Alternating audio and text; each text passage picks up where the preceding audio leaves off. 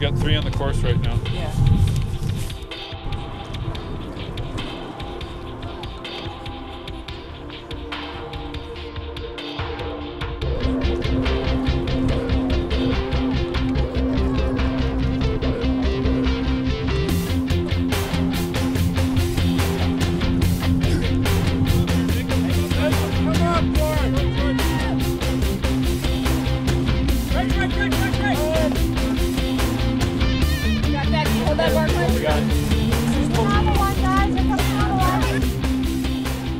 The speed challenge was developed because the men and women that wanted to go as fast as they could needed a place to do it, and Battle Mountain is the place to do it.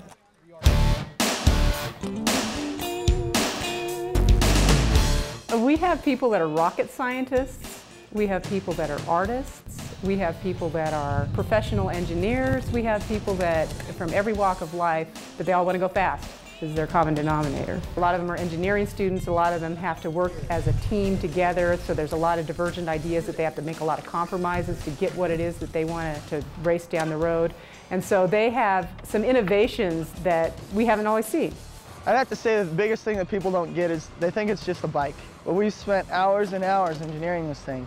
And while it looks simple, that's the whole concept. We want to keep it simple. We want to keep it so it's running really well. We don't want problems to arise in unnecessary systems that we put in the vehicle. But it's very tight tolerances, and there's a lot of engineering that goes into it. So what we're doing right now is we're building up the front wheel. Um, the hub here is being put into the rim with the spokes. Uh, we're creating a custom wheel, so this will act as the front and uh, main part of the drive system for the vehicle. It also allows me to fit this essentially in between my legs. Um, it's the maximum size that we can get in there and uh, still have motion to pedal around the bike. Alright, so the problem we're having right now is we had a bit of an accident the other night. Uh, we're driving and we're doing our testing, but of course we've only got a really short run up and the bike only handles well at really high speeds. Anyway, we had a small accident the other night, uh, got a little skin up. We're working with very tight tolerances so we're gonna make changes and get this thing rolling again.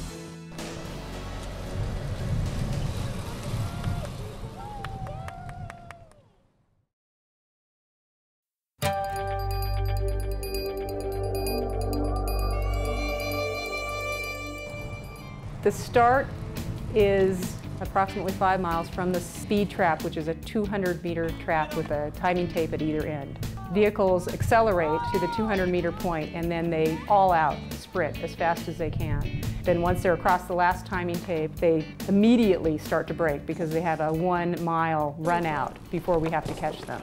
It's been a struggle the whole way through just to stay on top of the ball and stay ahead of the game to make sure the bike was done on time and ran smoothly while we were out here. But um, I'm out here just to, to push it and see what our limits are because we've always wanted to know and, and this right here, right now, this is where we find out.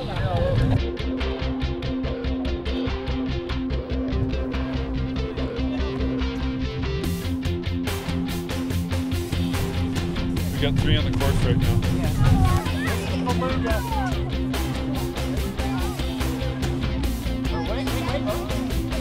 I'm wrong. I'm wrong. This is UMR.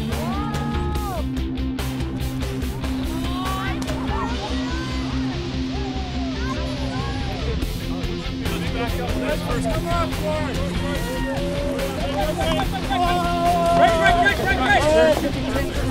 it? Got that? Hold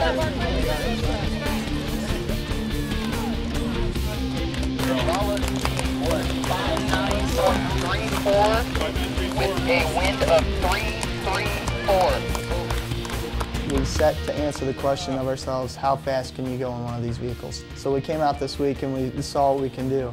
And so far we've hit 59 and some change and you know that will set the bar for the people that are to come and I hope it's an inspiring story for those people out there currently on the Human Powered Vehicle team to come out and break this record and just to show what Missouri's University of Science and Technology has to offer and you know the caliber of students that we are.